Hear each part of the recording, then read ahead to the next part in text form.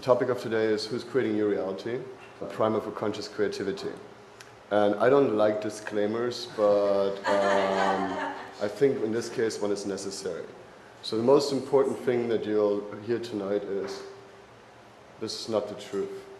Okay, so whatever I'm going to tell you is not the truth, it's an idea, it's a model, it's just something that I threw together that seems to have some practical use for me. Doesn't mean that it has to have that for you, but that's up to you to judge not for me to judge. So I'm presenting you as a model, right? A model, a map, but the map is never ever the territory, as Mr. Korzybski was kind enough to say. So, you know, this is, this is here to, so supposedly, but it's not, obviously. So, um, Alfred Kahn Korzybski also, whoo, is it freaky? No, okay, good. He also came up with uh, this concept of E prime, which is English without any form of to be. The point of that being that as soon as I say this is this, I make a judgment. And I judge it and I say this is what it is, it can't change, period. Right? If I say this is what appears to me, this is what seems to me, if I say those kind of things, I'm open, you know, and I'm more open to the thing to change and I'm allowing it to be its own process, its own thing. Right? So instead of saying this is what it is, I am this, I am that, say right now I'm feeling this, I'm experiencing this. If you use am as an auxiliary verb, I guess that's okay, just not as a verb in itself. So you make no definite statements around that. The whole idea of the truth or the ideal and the right thing kind of came from good old Plato, who had this uh, wonderful allegory of the cave. I don't know how many of you have heard about the allegory of the cave. A couple of them? Okay, cool. The idea was, um, what he was describing was this situation where we're all prisoners. Right? And we're sitting there, we're tied to our chairs, and all we can see is this wall, and we see things moving on it.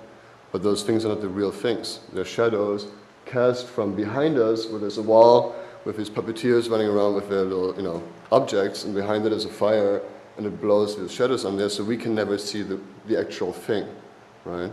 What he's describing is a process of perception, where if you know what a table is, you can see a table. If you don't know what a table is, you won't see a table, right? And the problem with it is that, you know, that you can actually climb out of this cave and be that prisoner that escapes, and then you get to be up, up above, and you get out of the cave, and you see the real things, and you see the sun and all that beautiful thing. So people from there took the idea that there is actually an ideal, the ideal, right? But what would the ideal table look like? Would it have three legs? Would it have four legs? Would it have, what is the ideal table? Right? There can't be an ideal table. There is no ideal. And similar to that, there's no truth. And that's not a pipe, even though it looks like one maybe. Or it appears to be a pipe, or whatever, but really it's just a graphic on a wall in a PowerPoint presentation of a picture, of a painting, of something that might be a pipe. And a sentence that says that it's not. So it's not, there's no ideal, there's no truth, there's no final, final thing. Right? So when you hear this tonight, don't ask, is this the truth? Say, it rings true to me, works for me, serves me, applies to me, maybe gives me the results that I want to get. And so my goal today is to transform you as an observer in that regard. And the reason I'm saying that is because an observer, as an observer, each one of you has you know, certain actions available to you and certain results that come from those actions. If you want to change your results, to create different results, you can change your actions. The problem is, there's these results four and five that you might want to get to, but you can't even see the action that would lead there, right? So you have to change as an observer, and then these actions become available to you and these other results are available to you.